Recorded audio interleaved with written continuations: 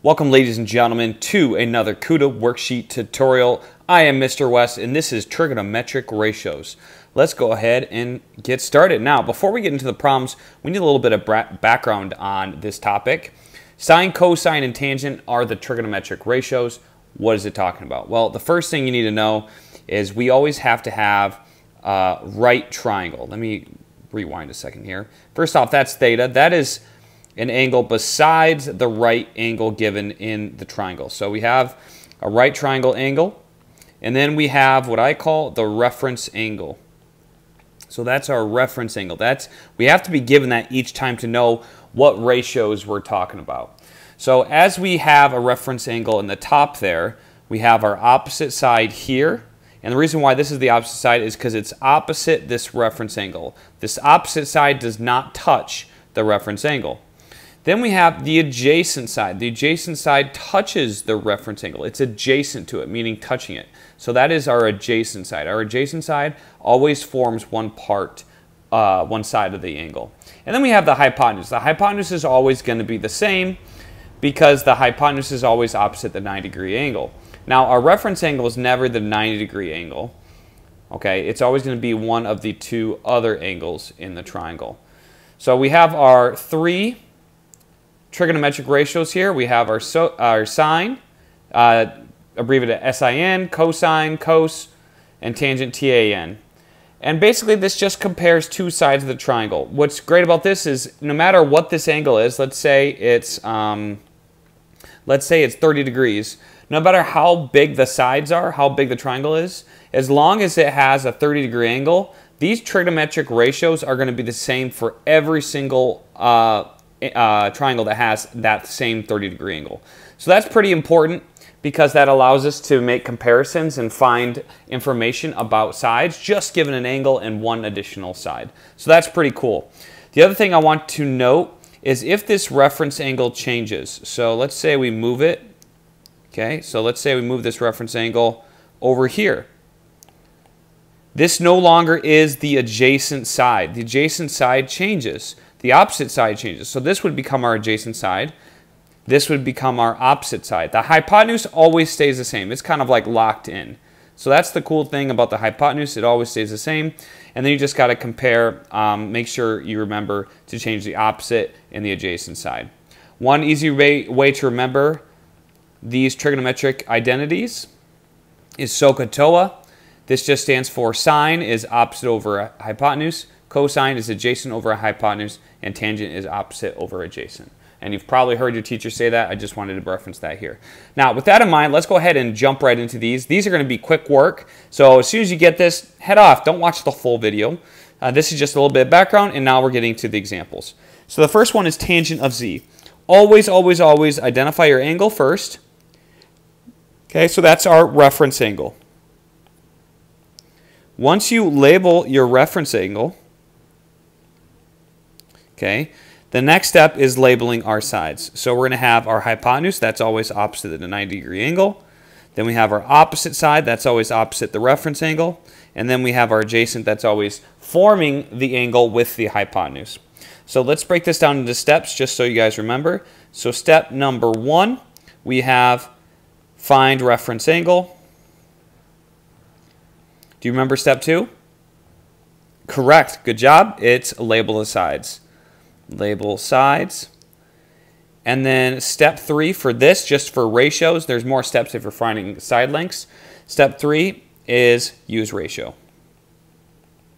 Okay, so now we know that tangent of z, okay, well, tangent of any angle is equal to opposite over adjacent. Okay, so for this one, we have tangent of z, it's not tangent of just any angle. By the way, this is theta. That usually represents angle. This is equal to our opposite, which is 21, over our adjacent, which is 28. You always want to simplify if you can. In this case, you can. I'm going to divide both by 7, and I get 3 over 4. And that's my answer. My tangent of z is equal to 3 over 4. And it's as simple as that. So three-step process. First, find a reference angle. Two, label the sides. And then three, use the ratio. I guess there's a step four. I'm sorry. I'll put it in blue just because it's like it implied. Step number four, simplify. I think I said that right. Or reduce. All right. Moving on to uh, number two, cosine of c. So now we're looking at c, okay, and we're thinking about the cosine. So first thing, let, find my reference angle, done, opposite, adjacent, hypotenuse is always the same. So we have cosine of an angle is equal to op, uh, false, adjacent, adjacent, ca, C-A-H, uh, uh, adjacent over hypotenuse. So cosine of C is equal to adjacent 16 over 34. Now you can reduce this one. Uh, 34 doesn't go into 8, but 2, okay, we can divide both the top and bottom by 2. So we're going to get 8 over, what is that, 17? I believe it is. 8 over 17. And that's as simplified as it can be. So 8 over 17 is our answer for cosine of C. Let's do another, let's do a sine one. We haven't done that yet, so let's go down to number 8 here. Sine, find our reference angle, sine of C. So we're looking at this guy. We need to label number 2, opposite. Be careful here, the adjacent side, again, touching the angle, but it's not the hypotenuse. Hypotenuse is opposite the 90, it's the longest side, hypotenuse. Okay, so sine of C, sorry, sine of theta is equal to opposite over hypotenuse. S so SOH, opposite over hypotenuse. So then we have it's equal to sine of C is equal to opposite 14 over hypotenuse 50. 14 up, I got to reduce that thing divided by 2. I think that's the biggest I can divide by. And I get 7 over 25. That's my final answer. Okay, so just real simple here. I'll even do another bonus one real fast. Okay, z opposite, adjacent, hypotenuse. Cosine is 24 over 30, adjacent over hypotenuse. I'm divide both by uh, 2. I get 12 over 15. Nope, I can divide by 6, can't I? Shame on me. 4 over 5. So 4 over 5, because I divide both top and bottom by 6. Cosine of z equals 4 over 5. Okay, now what is it talking about with this one? Find the value of each trigonometric ratio to the nearest 10,000th. Ooh, 10,000th. Wow, really? Okay, so just a quick clarification. If we have the number like 2.3876, this would be hundredth, uh, sorry, tens, hundreds, thousands, ten thousands. So we're going to go to four digits. So we really need to go to a fifth digit so that we can round. Wow. Okay. All right. Sounds good. So cosine of z, we're doing the same process here. We just have one additional step at the end, which I'll show you about. Uh, cosine of z, it, we just need the adjacent side here and the hypotenuse here. Here's the opposite side, just in case you're wondering, but we don't need it. So adjacent over hypotenuse, 12 out of 15. We can divide by 3 to both, and we get 4 over 5. Now I know this I can use a calculator if I need to, but I know this is 0.8. So this is 0.8, and that's rounded already, cosine of z. Okay, let's move on to another one. Cosine of c this time. Here's our reference angle right here. Okay, so then I'm looking for, again, adjacent over hypotenuse. Here's my adjacent. Here's my hypotenuse. So 27 out of 45. And I need to reduce this. I can think I can reduce it by uh, 9. I can do it 9 times 3 is 27, so divided by 9 is 3, and then 9 times 5 is 45. This one's going to be 0 0.6 cosine. Where's the tough ones? Apparently these are going to be tough ones. Uh, let's go over here. Maybe there's a tough one over here. So sine, sine of z. So here's our reference angle. Opposite this time over hypotenuse. Here it is. So we have 12 over 37. I don't think they have common factors. So we're just going to go to calculator now. Okay, so here's my calculator. Okay, type it in the calculator. 12 divided by 37. And I get, I'm going to five decimal places. 3, 2, 4, 3, 2. Okay, I think this repeats. So then we have 0 0.3, 2, 4, and then 3 this 2 isn't big enough to round up, so I just leave it the same. Here's my answer, 0.3243. Um, for these next ones, you're probably like, what do I do here? You just type in on your calculator sine of 38. So again, this is just uh, calculator time. So once you do this, I got 0.6. Make sure you're in degree mode. So you go to mode, okay, there's an option for radian or degree. Make sure you are choosing degree because this is in degrees. So we have 0.61566. That's five digits. We want to round up. So this becomes 0.6157. There's our answer. And you're going to do the same thing for all of these. So cosine of 61, same deal. Cosine 61, make sure in degrees. I got 0.48480. Okay, so if I round to the nearest 10 thousandth, it'd be just 48 like this. There's my final answer. Can the sine of an angle ever equal 2? Why or why not? So let's think about this for a second. Remember that if we have our reference angle here, and this is our opposite side. Okay, let me just call this in. And this is our hypotenuse.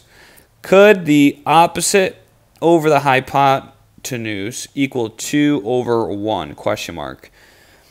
Well, can the opposite side be bigger than the hypotenuse? I think that's the question. The answer is no, it cannot. The hypotenuse has to be the biggest side. So the height, the this ratio, opposite over hypotenuse, must be less than 1. Okay, so the sine, the sine of an angle has to be less than 1 because the hypotenuse has to be the longest side. Otherwise, it's, it's not a triangle.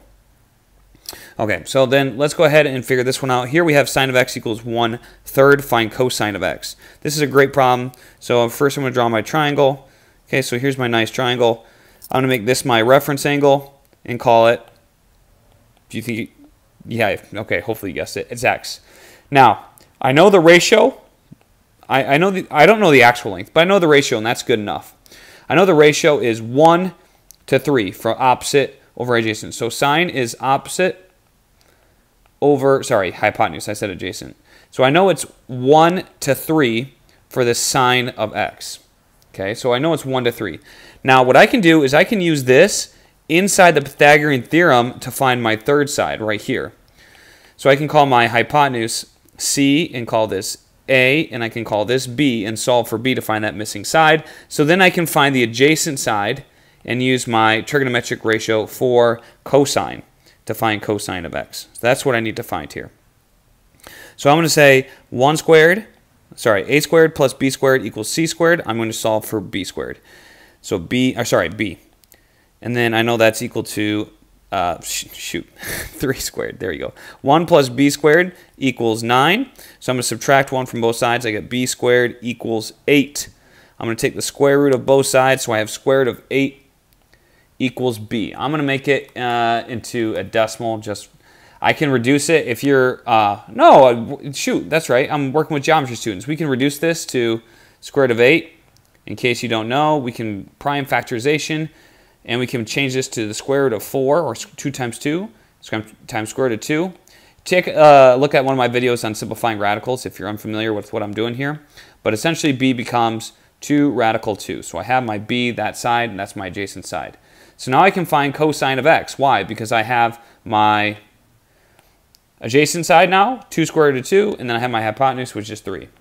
So I say cosine of, look at this, x, how cool is that, equals 2 radical 2, that's my adjacent side, over my hypotenuse, 3. And that's as reduced as it can be, so I would just leave it like that. But I think it might want it rounded, which is not super cool, but I'm going to do it anyway, times the square root of 2 divided by 3. I just typed this into my calculator, and I got, okay, so calculator, in case you didn't know what a calculator was, I drew a picture. We get 0.9428, 0. So rounded is going to be 0.9428 to the nearest 10 thousandths, and there we go. Hopefully you found this uh, video tutorial helpful. Uh, if you liked it, go ahead and indicate so. And if you want any other videos done on any other topics, leave a comment and I'll be sure to get back to you. Thanks for watching. I'll see you next time.